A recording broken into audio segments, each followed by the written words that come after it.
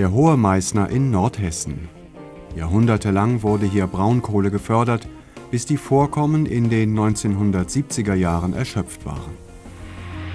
Heute wird auf dem Hohen Meißner wieder Energie gefördert, diesmal aber die erneuerbare Energie aus dem Wald.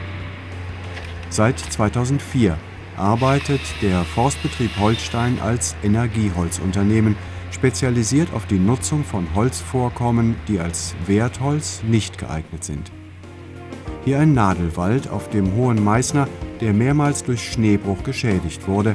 Äste und Kronen waren im Winter unter der Schneelast abgebrochen. An den Bruchstellen entstehen sogenannte Zwiesel. Die Bäume verzweigen sich zu dünnen Stämmen mit vielen Ästen und verwucherten Kronen. Wobei hier eine stoffliche Nutzung nicht möglich ist und diese Kronen halt komplett in das Energieholz geschnitten werden. Das sieht man hier. Also hier ist nicht möglich, irgendwo ein Brett rauszuschneiden oder irgendwas, weil es ist so verkrümmt, so starkastig, das ist nichts möglich mit stofflicher Nutzung. Gerade Stämme werden entastet und auf passende Länge geschnitten, sie eignen sich noch als Palettenholz. Die Verwertung des übrigen Holzes und das Entfernen aus dem Wald ist auch deshalb geboten, weil es sonst eine Brutstätte für Borkenkäfer wird. Das Energieholz verarbeitet der Forstbetrieb Holstein direkt an den Lagerplätzen im Wald. Ein leistungsstarker mobiler Hacker zerkleinert Baumkronen, Äste, verwachsene Stämme und die Zwiesel in einem Arbeitsgang zu Holzhackschnitzeln, ein ofenfertiges Brennmaterial, das sich jetzt gut transportieren und verladen lässt.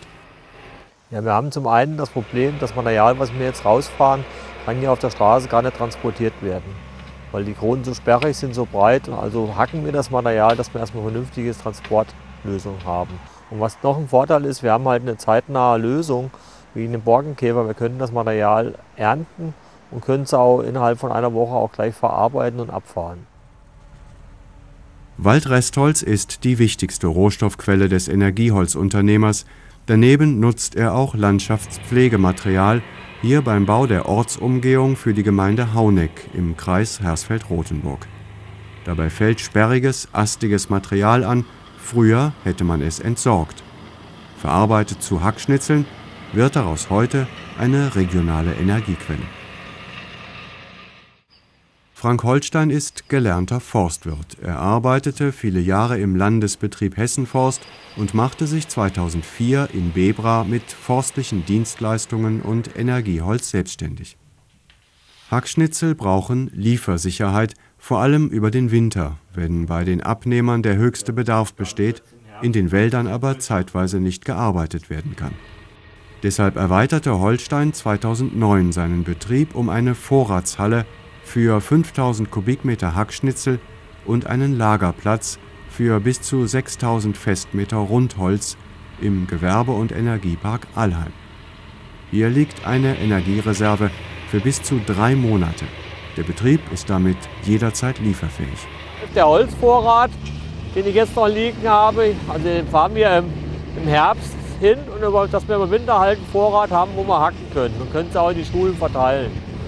Und der, mein Fahrer, der Mario Lautz, ist jetzt gerade dabei und hackt das Rundholz, was wir dann in der Halle zwischenlagern und dann wieder verteilen. Diese regionale Energie schafft ganzjährige regionale Arbeitsplätze. Der Forstbetrieb beschäftigt sieben festangestellte Mitarbeiter.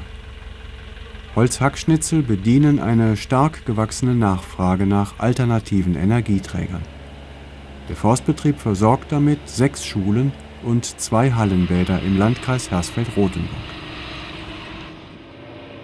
Hier ist eine Ladung von 40 Kubikmetern Holzhackschnitzeln auf dem Weg zur Modellschule Obersberg in Bad Hersfeld. Das Schulzentrum bekommt im Winter fast jeden Tag eine Lieferung. Aus dem Vorratsbunker wandern die Hackschnitzel eine Etage tiefer direkt in den Brennofen. Dieses Feuer heizt die Gebäude von drei Schulen mit insgesamt 3400 Schülern. Frank Holstein ist Wärmekontraktor, das heißt, Die Schule kauft nicht die Hackschnitzel, sondern sie bezahlt die daraus gewonnene und in ihr Heizungsnetz eingespeiste Energie.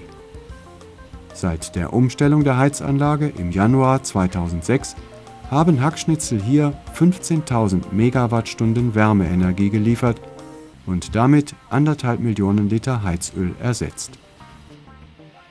Insgesamt erzeugt der Forstbetrieb Holstein jedes Jahr etwa 50.000 Kubikmeter Hackschnitzel aus regional anfallendem Restholz. Sie ersetzen unmittelbar über 3 Millionen Liter fossiles Öl in Heizanlagen durch im Holz gebundene Sonnenenergie.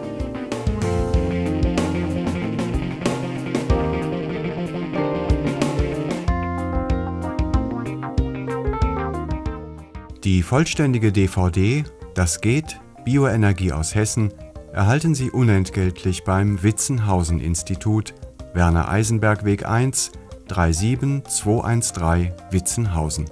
Bitte senden Sie uns einen mit Ihrer Adresse beschrifteten und mit 1,45 Euro frankierten Rückumschlag.